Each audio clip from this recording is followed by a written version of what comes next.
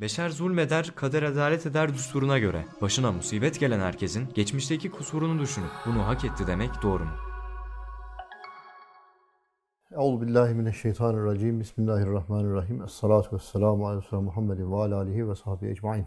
Bu soru hakikaten çok ehemmiyetli bir soru. Neredeyse toplumda en çok yanlış anlaşılan meselelerden bir tanesi. Adeta toplumu zehirleyen bir fikir. Müsbet düşünüyoruz derken Allah muhafaza tedavisi olmayan büyük yaralara yol açan dehşetli, zehirli bir fikir haline dönüşebiliyor. Bediüzzaman Hazretlerinin bir ifadesi var. Diyor ki bir kelam dört menbadan beslenir, dört makama göre mana verilir. Birisi kim söylemiş, kime söylemiş, hangi makamda söylemiş, niçin söylemiş diye dört makamdan bahsediyor. Eğer makamlar karışırsa manalar da karışır. Çünkü her mananın bir makamı var ki o mana o makamda geçerlidir. Başka bir makama aynı manayı, aynı kelamı taşıdığınız zaman manası değişir. İfade şöyle, her şeyde, her musibette, hususan beşer eliyle gelen zulümlü musibetlerde, Risale-i Kader'de beyan edildiği gibi iki sebep var. Biri, zahiren esbaba bakan beşerdir. Yani burada bir zulüm varsa, bu zulmü de bir beşer, bir insan yaptıysa, zahiri sebeptir o. Diğeri kader ilahidir. Beşer zahiri esbaba bakar. Bazen yanlış eder, zulmeder. Fakat kader başka noktalara bakar, adalet eder. Biz bir şekilde geçmişe ait bir zulmümüz var veya bir günahımız var, kusurumuz var. Allah'la aramızda bir beşer, herhangi bir şahıs bize zulmetti. O bizim kusurumuzu bilmiyor. O bize hangi sebepten dolayı zulmettiyse biz bu zulmün sebebini araştırıyoruz. Zahiri sebebi o beşer. Fakat bizim gizli bir hatamızdan dolayı Cenab-ı Hak o hatamıza karşılık o zalimin eliyle bizi cezalandırdı. Beşer zulmetti, zalim oldu ama kader onun eliyle adalet etti. Kader her zaman nedir? Adildir. Aynı zulmü beşerde, beşerin aynı zulmünde kaderin adaleti var. Fakat bu mevzu yanlış anlaşılıp yanlış uygulandığında biz de zalim oluyoruz. Allah'ın adaletini ifade edelim derken orada biz de bir zulme girdiğimizin farkında değiliz. Hem suizan, hem gıybet, hem zulüm çok dehşetli, çok fitneli bir çukura düşüyoruz. Öyleyse mesele yanlış anlaşılabiliyor. Mesele yanlış anlaşılıp yanlış uygulanabiliyor.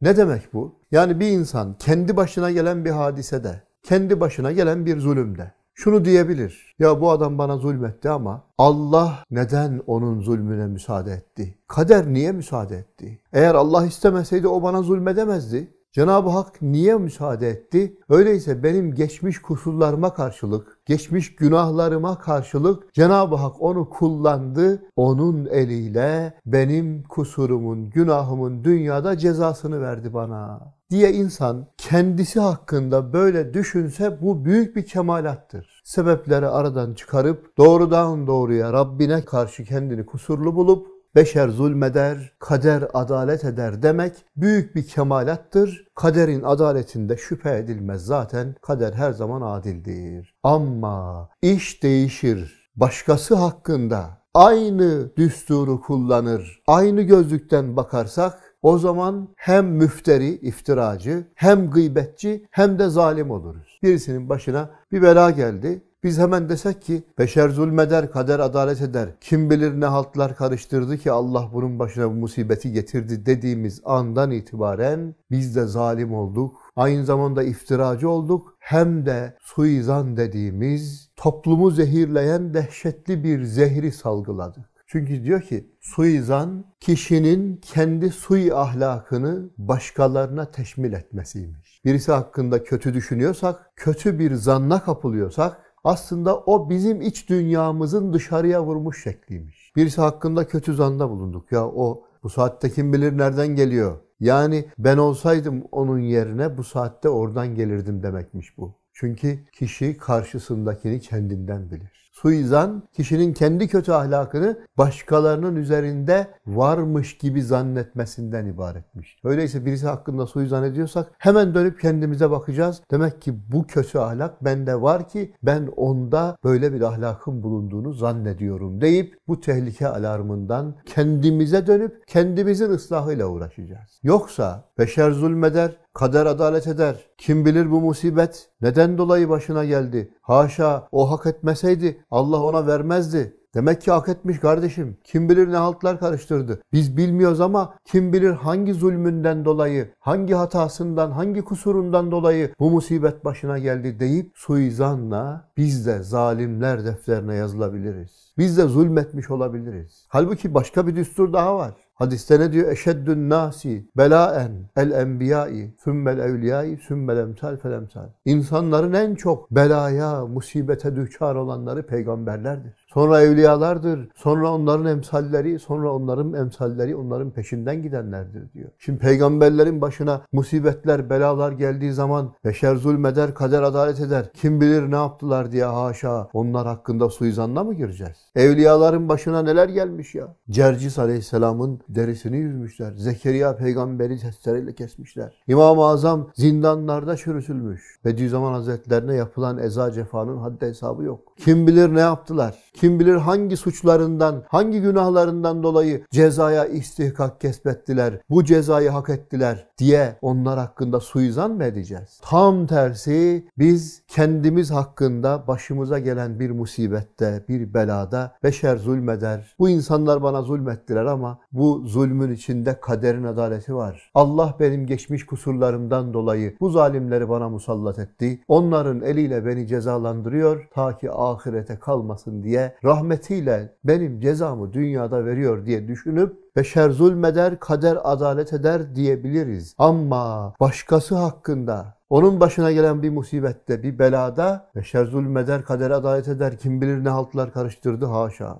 Başkası hakkında ne diyeceğiz? En büyük belalar, musibetler, peygamberlerin başına gelmiş, evliyaların başına gelmiş, büyük zatların başına gelmiş. Bu kardeşim de Allah'ın sevgili bir kuluymuş. Peygamberlerin, evliyaların, büyük zatların arkasından giden bir kuluymuş ki Allah ona bu eza ve cefayı, bu belayı, bu musibeti reva gördü diye onun salahatı hakkında, onun ne kadar yüksek, ne kadar ulvi bir insan olduğu hakkında fikir yürütüp hüsnü zan etmekle memuruz. Haşa onun geçmiş kusurları vardı, şöyleydi, böyleydi diye suizanla, iftiralarla ona zulmetmek bizim hakkımız veya haddimiz asla değil. Bu nokta çok önemli. Yoksa makamlar karışınca mertebeler de karışıyor ve Allah muhafaza biz sanki böyle Kur'an'ın, İslamiyet'in, Cenab-ı Hakk'ın bir kader düsturunu ifade edelim derken Allah muhafaza zulmedebiliyoruz. Demek düstur bu. Başkası hakkında her zaman hüsnü zanla memuruz. İş kendimize döndüğü zaman asla kendimiz hakkında hüsnü zan etmek yok. Vuracağız kendimize. Sen bu eza ve cefaları hak ettin. Senin şöyle kusurların var, böyle hataların var, böyle günahların var. Sen bunlara layıksın. Kimin eliyle geldiğine bakma. Hep anlatılır. Bir derviş böyle berberde tıraş oluyormuş da böyle kelleyi kazıtmış böyle. Pırıl pırıl parlıyor. Biri size dayanamamış böyle. Dervişlerden de hoşlanmayan birisiymiş. Şöyle birden şak diye bir tane kafaya patlatmış. Derviş ya işin nereden geldiğini biliyor. Sebeplerde boğulmamış. Hiç dönüp bakmıyor bile. Diyor ki vurana değil vurdurana bak diyor. Ben diyor bunun daha şiddetlisine layığım. Allah benim kusurlarımdan, günahlarımdan dolayı bu tokadı bana reva gördüyse kimin eliyle vurduğunun bir ehemmiyeti yok diyor. İmana bakın. Neyse berber dükkanından adam dışarı çıkarken dervişe vurdu ya. Vurduktan sonra tam dışarı çıkarken o arada oradan hızla gelen bir araba adama güm çarpı veriyor. Ne oldu? Dervişin kafaya vurdu. Arkasından böyle bir musibet başına geldi deyince hemen dervişi yakalıyorlar. Ya nasıl beddua ettin sen? Bu adama ne dedin? Kim bilir bu adam hakkında ne düşündün? Falan diye dervişe yükleniyorlar. Derviş diyor ki ben dönüp bakmadım bile diyor.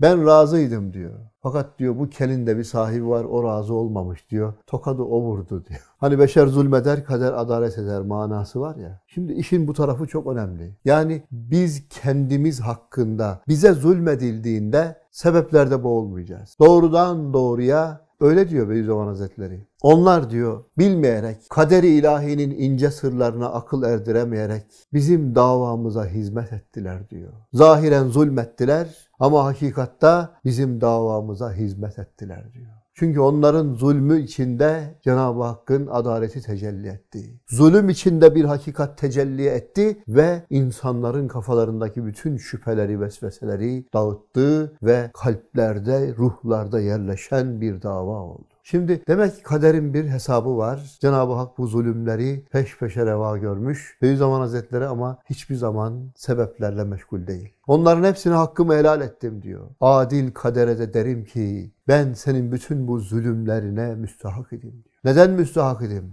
Çünkü diyor ben de herkes gibi diyor kendi paçayı kurtarmak için, kendi ahiretimi düşünmek için bir yol tutsaydım, bu iman hizmetiyle meşgul olmasaydım diyor. Şimdi kazandığım bu büyük kuvvetten mahrum kalacaktım. Demek diyor Cenab-ı Hak o zalimlerin eliyle hakikatin ortaya çıkmasına onları vesile etti diye bu manayı ifade ediyor. Demek biz de her zaman düsturları yerinde ve makamında kullanacağız. Elhamdülillahi Rabbil Alemin. El Fatiha.